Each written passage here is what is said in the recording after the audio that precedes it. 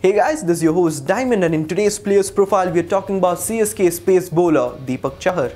Deepak Chahar is a promising pace bowler who's haunted by injuries. Deepak came into recognition when he picked up 8 wickets against Hyderabad in his debut innings of a domestic match. In 6 years of his domestic career, he's picked up 105 wickets in the 35 games that he's played.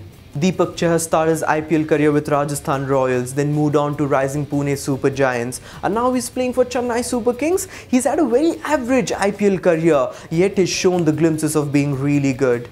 Chahar has played 12 matches so far and has picked up 7 wickets at an economy of 8.6 in IPL. Though his statistics do not quite prove how good of a bowler he is as he's been phenomenal for Chennai Super Kings in the IPL 2018 before he got injured.